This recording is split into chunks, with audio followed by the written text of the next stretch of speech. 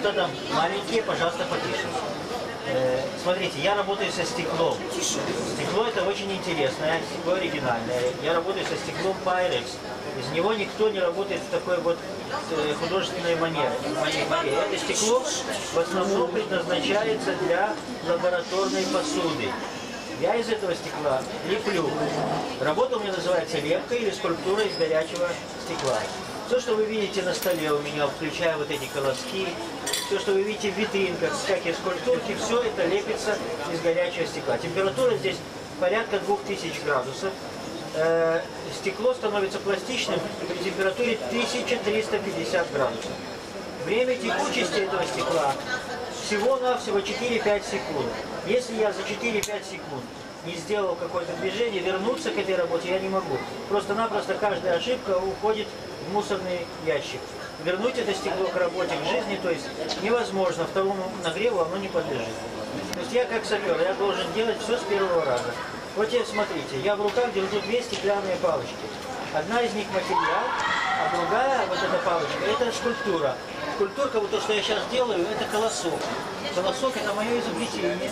Где бы вы ни были, где бы вы ни смотрели э, работы, со- стеклом, вот такой колосок делаю только я, потому что это я действительно придумал. Сколько он стоит? Вот такой колосочек стоит 25 шекелей или 5 штучек. Есть у меня вот такая стрекоза, симпатичная 70 шекелей. Коза очень симпатичная. Есть у меня работы цветные, но цветные работы дороже, потому что э, э, цветной пайрекс я получаю из Америки очень, по очень высокой цене. Там работы начинаются вот где-то порядка со 100 шекелей каждый колосок. Вот теперь давайте я буду объяснять, что я делаю. Я нагреваю стекло, и оно становится мягким, пластичным. Но вы очень близко держите пальцы. Сейчас, сейчас я все объясню. Стекло я соединяю и тяну. Теперь мы все знаем еще из школьных учебников, что стекло материал не теплопроводный. То есть э, вместе нагрева это порядка 2000 градусов. Еще сантиметр от огня, видите, я трогаю. Это не потому, что я такой нечувствительный, толстокожий, а потому что стекло не проводит температуру. Это первое. Второе. Э, Смотрите, э, стекло Pyrex дает возможность работать без печей. Потому что с обычным бутылочным стеклом невозможно нагреть стекло и закончить работу без печки. Вот. Pyrex стекло очень, э, очень хорошее, но у него очень тяжелый характер. С ним надо очень внимательно работать и не допускать ошибок, потому что это стекло единственное, которое не возвращается в работу. Если есть ошибочка, то эта ошибочка уходит в мусорный ящик. Вот. Теперь смотрите, этой работе можно научиться. Вот. У нас есть в Израиле на сегодняшний день есть э, сеть мифлолот, сеть таких институтов, э, которые обучают работе со стеклом. Это называется Гиль Рафаэль. Э, туда принимаются люди все, любого возраста, начиная от 15 лет и до 90. У меня в последней группе была женщина, возрасту которой 86 лет. Она не смогла делать тяжелые вещи, которые надо держать по 2 часа в огне. Но пчела у нее получилась такая, которую я еще не умею делать. Просто здесь нужно терпение, терпение, вот как, как вот любовь к стеклу, так я это объясняю. Вот теперь посмотрите, что у меня есть в витринках. У меня есть работы из прозрачного стекла, и вот там у меня за спиной, или вот в витриночке, работа из цветного стекла. Это не крашеное, это натурально цветное стекло. То есть сочетание двух цветов, это берутся две стеклянные цветные палочки, соединяются, и потом делаются с ними всяческие манипуляции. То есть это стекло не потеряет своего цвета ни на солнце, ни в воде, ни в кислоте, нигде. Вот. Я пока с вами разговариваю, я потихонечку вот леплю свой колосочек. Потом, если вы захотите, я покажу еще что-нибудь интересное. Если у кого-то есть желание купить, пожалуйста, у меня для всего есть упаковка. Единственное, что я прошу, беречь от сильного удара. Как бы это прочно не было, если это падает, то вот, ну, конечно, это стекло. Вот. И есть люди, которые говорят, да, не бьющееся стекло. Неправда, обман. Не бывает не бьющегося стекла. Любое, даже закаленное стекло иногда бьется. Так что вот такие, такие пироги. А что тут говорят, что венецианская не бьется? Это вам, Бьется, глупость. это вам кто говорит? Вот девушка. Я говорю, я видела, мне при мне били его. Я она не сама разбила. А, пожалуйста, сейчас я вам что-то покажу, только не пугайтесь, ладно? Да. Я вам сейчас покажу обычный-обычный стакан, который делаю я. Он не производится в Китае. Это делаю я из стекла Pyrex. Я беру металлический пинцет. и луплю по нему, по этому стеклу со всей силы. Но если это упадет, это раз- ра- разлетится в дребезги. А А на вот теперь, если я брошу это стекло правильно, на донышко, при вас, не разобьется. А если бросите, да, вот так, а бросите вы, разобьется. А что вы скажете о выставке Литва? Вы знаете там... э, Знаю я. Да. Что я вам могу сказать? Литвак это Литвак. Э, Он приглашает в основном э, э, э, тех, кто работает со стеклом из-за границы, а наши ребята сидят все каждый в своей конурке. А, то есть, если вы, если вы захотите что-то выставить, он вас не... С этого, с это- с это- я должен буду заплатить за то, что я А, выставляю. выставляете, понятно. Вот, теперь смотрите, у нас в Израиле не так много людей, которые работают со стеклом. Этому ремеслу я научился в Израиле, потому что моя специальность, она ни себе, ни людям. И пришлось мне вот выбирать что-то, я единственный раз в жизни решил научиться тому, чему хочу я. Вот, а мне очень хотелось заниматься какой-то такой работой. И я нечаянно увидел человека, который работает со стеклом. Вы, наверное, слышали, есть такая деревня художников. Эйнрод. Которая сгорела. Да, вот она не сгорела. Извините, сгорела пару домов. Вот, так вот там есть, есть, есть человек, художник э, по стеклу, стеклодув. Он не лепит из стекла, он дует из стекла. Его зовут Алекс Арбель. Так вот он единственный, кто согласился дать мне несколько уроков не, не, не- именно не лепки из стекла, а дутья. После того, как я научился дуть, я начал вот лепить, это уже я сам мою технику придумал. Сегодня я преподаю то, что я делаю. Вот в той самой Михлале Гиль Рафаэль. И вполне успешно есть люди, которые, я не говорю, что все, учатся, но есть люди, которые могут этому научиться. Скажите, вы делаете эскизы, прежде чем... э, Нет, вы знаете, я не делаю эскизов, мне нет необходимости. Если я задумал какую-то работу, на она должна, она должна созреть здесь. Я вынашиваю иногда работу по полгода, по году, это первое. А второе, я прежде чем что-то сделать окончательно, я делаю много-много-много экспериментов. Эксперименты не пропадают, они используются элементы для чего-то другого, но работа, вот там у меня есть золотая осень, две птички с шиповником, вот это я вынашивал год практически. Ну, а вот, например, человечек там или солдатик Человечек это уже стоит. сегодня не, не сложно, это уже. Вот вы видели, как я работаю, пожалуйста. Очки у тебя специально для Очки у меня волшебные, розовые, я все вижу в другом цвете. Скажите, а вы не занимаете вот не занимаетесь вот этим стеклодувством? Нет, нет, нет. Я, у меня очень хорошо получается лепить из стекла, поэтому дуть стекло мне совсем не обязательно. Все, понятно. Я не делаю подсвечники, я не делаю стаканы, я делаю только для себя. Для своих целей, вот для своих колосков или для, для цветов. Это дутье. Это дутье, Но да. дутье я использую печки. У меня в домашней студии есть печки. После того, как я сделал работу, я обжигаю в печи. Поэтому настолько прочные мои стаканы. С китайскими стаканами не экспериментируйте. При малейшем ударе оно разлетится.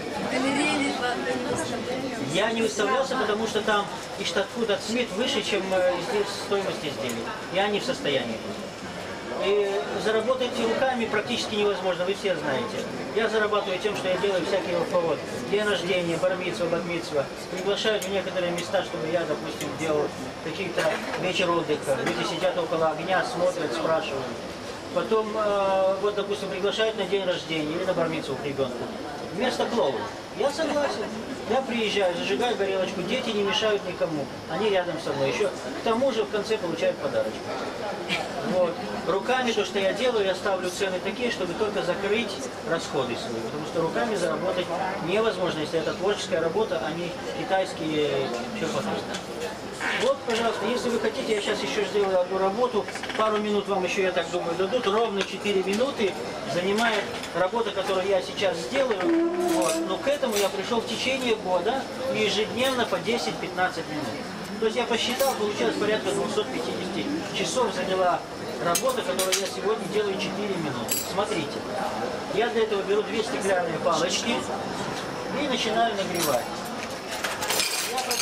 Не использую инструментов. Основными моими инструментами являются руки и пинцеты. Широкий, узкий. Вот это тоже пинцет широкий. А вот это пинцет узкий.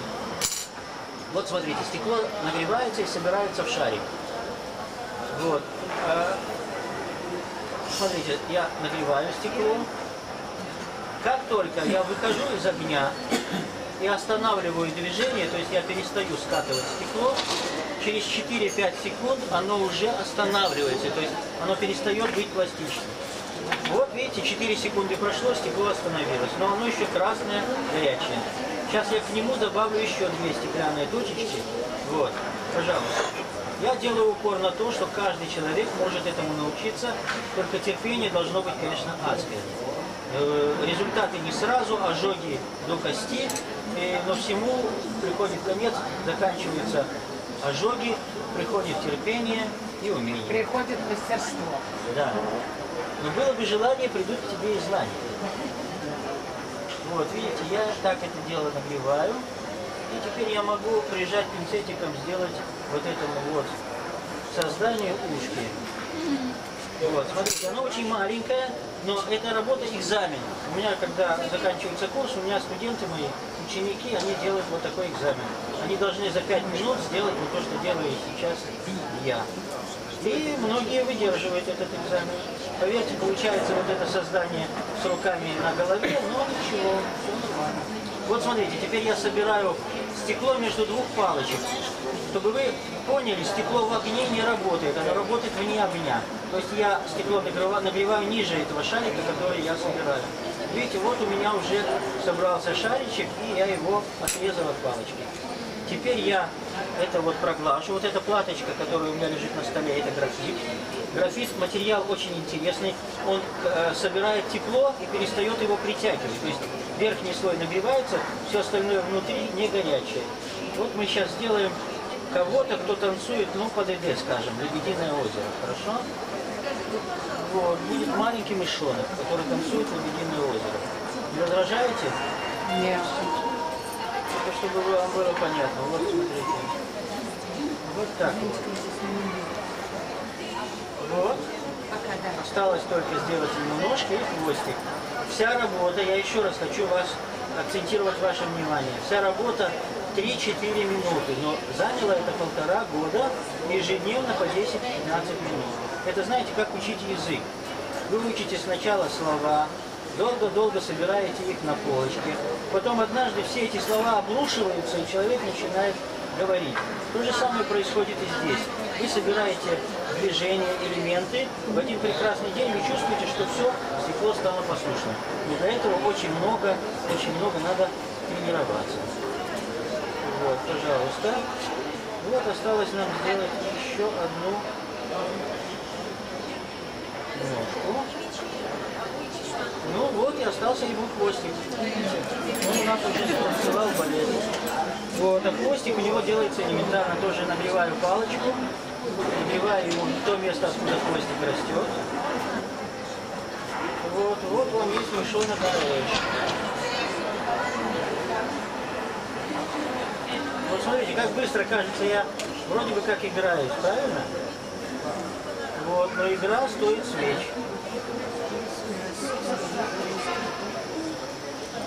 Ну все, Спасибо. можно его купить, только чуть-чуть, чтобы остыть, чуть-чуть. Пару минут. Пожалуйста, посмотрите, что есть в витринах, что здесь каждый день. Я здесь кроме воскресенья и понедельников, каждый день. А картиз у вас есть? есть 30, 50, 70 и 100.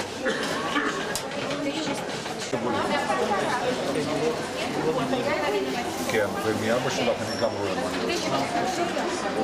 יש פה כזה מערכת של עלים יפים, משהו עגול כזה שעומד יפה.